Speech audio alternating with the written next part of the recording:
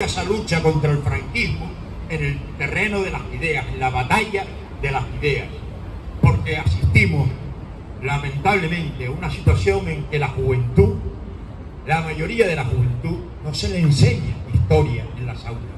Las humanidades han quedado reducidas a la mínima expresión y nos encontramos con jóvenes que no saben lo que fue la Segunda República ni lo que fue el franquismo.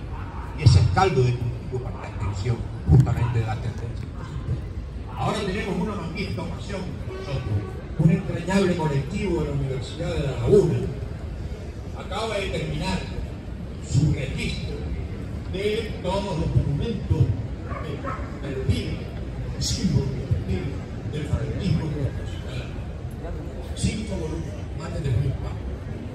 Es un material que hay que aprovechar evidentemente para dar batalla franquismo tampoco se combate con renuncias, con abandonos, con incumplimientos programáticos.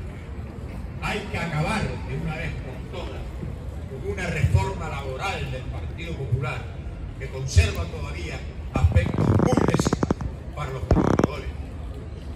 Hay que poner fin a la infame ley Mordaza que ha reprimido a más de 250.000 ciudadanos y ciudadanas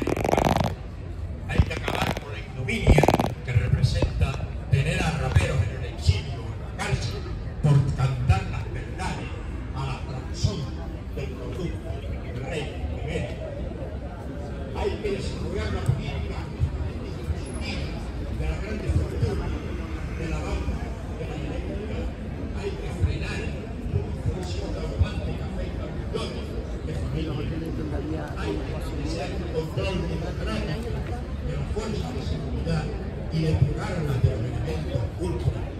Hay que democratizar una justicia que tiene demasiado puesto de espíritu franquista en su interior. Y hay que hacer otra cosa.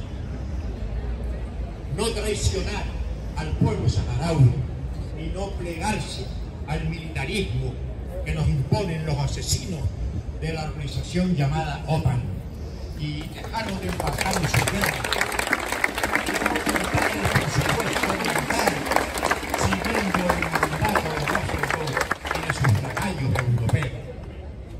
Ciudadanas y ciudadanos, nos encontramos aquí quienes somos símbolos del honor, la inteligencia y la conciencia de nuestra tierra.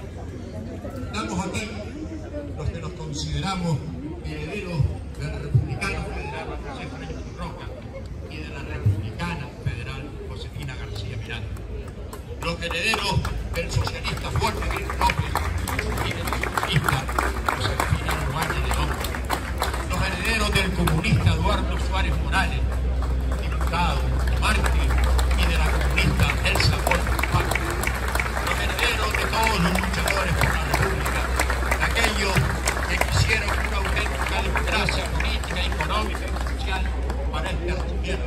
los que se enfrentaron a las oligarquías civiles que apoyaron el 18 de julio del 36 y se beneficiaron por la dictadura. Estamos aquí los compañeros y las compañeras de aquellos que luchamos contra la dictadura franquista y de las generaciones que han recogido nuestra bandera. Estamos aquí para expresar nuestro firme convencimiento de que sí, España mañana será republicana. Estamos aquí para alto